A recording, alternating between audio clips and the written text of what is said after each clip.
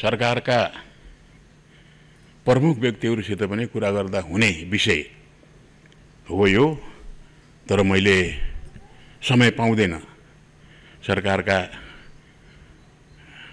माथिल्लो तहका प्रधानमन्त्रीहरूसित भेट गर्न पाउँदैन।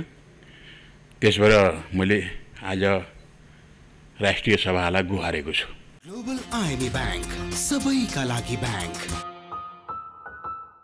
नेपालमा जति घटना घट्ने हाम्रो प्राकृतिक अवस्थाले भौगोलिक अवस्थाले संसारमा अरू कुनै देश छैन। यही देशमा यति धेरै घटनाहरू घट्छन्। त्यसबाट त्यस्तो प्राकृतिक अवस्था घट्नुभन्दा पहिले नै गर्नुपर्ने कामहरूको निम्ति नेपालका राजनीतिक पार्टीका विद्वानहरू प्रधानमन्त्रीहरू कसैको पनि ध्यान गएन। कसैको पनि ध्यान गएन। यो बहुदल आइसकेपछि मात्रै होइन।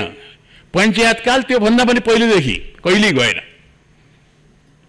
हो, अब त्यसतर्फ ध्यान दिनुपर्छ कि यो केमिकल ल्याउनुको निम्ति तुरुन्तै अहिले पनि उनी राजदूत छन् भन्ने मैले सुनेको छु।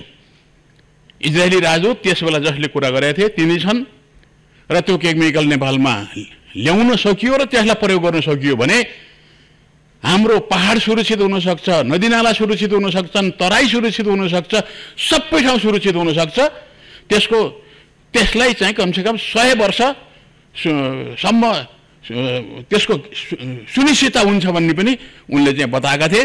त्यस भएर यस्तो पक्षमा इजरायललाई प्रयोग गर्न पर्यो इजरायललाई अनुरोध गर्न पर्यो।